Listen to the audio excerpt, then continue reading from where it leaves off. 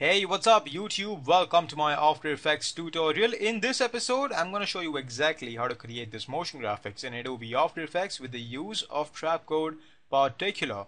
Now you can see it's a very nice particle emitter. Um, and this looks like, you know, complicated, uh, time consuming like stuff, but honestly, this is like five minutes. So let me show you how this is done. And uh, awesome people, the thing that you're watching right now, this right here, is a very quick and unprofessional animation okay? If it looks good uh, yeah well it, it does look it looks okay but if you were to spend some time with the trick I'm, I'm about to show you you can end up with something like this right? This I think is a lot better a lot more customized a lot more professional and this looks good. So this can be used in VFX you can remember Trapcode Particular is a third-party uh, third-party plugin and a 3D uh, particle emitter. So this can be used in VFX um, intros outros, um, you know, all that kind of stuff. So let me show you exactly how to do this in Adobe After Effects. Alright, so first things first, I'm going to create a new composition. I'm going to call this main.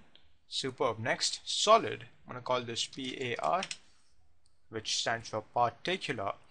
Come to FX and presets, type in particular, or if you want to work like TJ style, go to Trapcode and take particular and drop it on the solid, like that, yeah.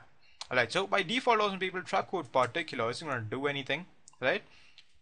Uh, but uh, what we have to do now is we basically are going to go to the emitter section and start the animation for position XY. So, uh, so I'm going to make sure that my CTI is on this first frame, then start the animation for position XY, hit the U key, move ahead in time. I'm going to go for two seconds and I'm going to take it like this. See that?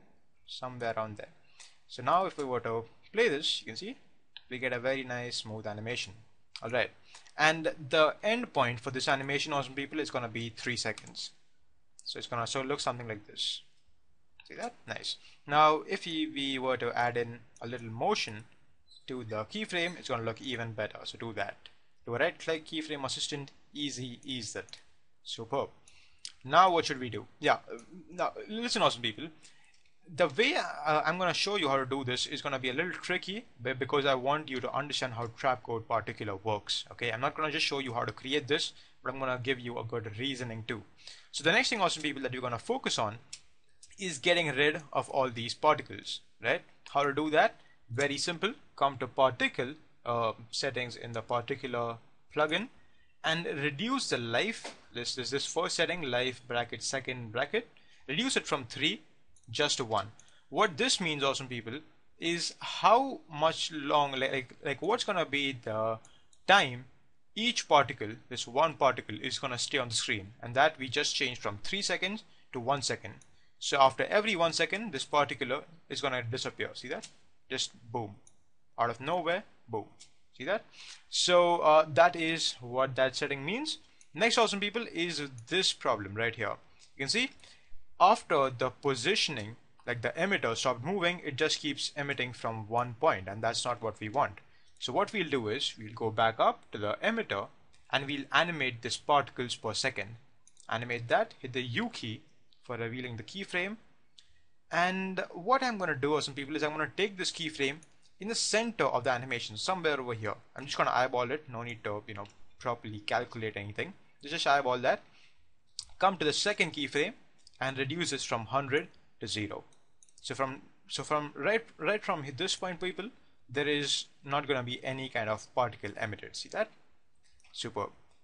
When you're working with Trapcode particular people it's best to understand how the plugin works and then create stuff from it. You know don't just randomly go in and start doing stuff. It's gonna irritate the hell out of you. Alright so this looks good. Now we will do some customization to the particles. So how to do that? We're gonna go to um, it's actually quite simple. I'm gonna firstly change the color from white to a very nice bluish color. This right now people is looking a little dull so the best way to add some uh, depth and some good looks to this is to change the blend mode from transfer mode from normal to add. See that? That's gonna create like a nice um, you know stingish effect. Alright this looks good. Next is to randomize the size. So just come over here in the particle settings size size random and take this all the way up to 100 do the same thing for opacity 0 all the way up to 100 now awesome people you're gonna increase the size from 5 to 7 and now if you were to play this you're gonna get this effect. See that? Now awesome people what I'm gonna do in order to create depth is I'm gonna duplicate this particle solid layer duplicate this and I'm gonna increase the size from 7 to 15 this is gonna add a little bit of depth I'm gonna duplicate this one more time and this time I'm gonna decrease the size from 15 just to 3 I'm going to duplicate this one more time and I'm going to change this size. Actually, this time I'm just going to keep it 3. So we basically have four different particular layers. If you were to play this, you're going to get this effect. Now it doesn't look all that nice till now.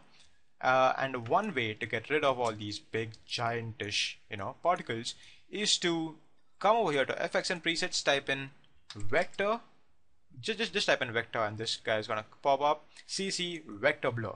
Take that and apply it to the solid which has the biggest size right? Take that and do that and change the amount from 0 to 25 and you're gonna get this effect. See that? Very nice. Very nice very good. That.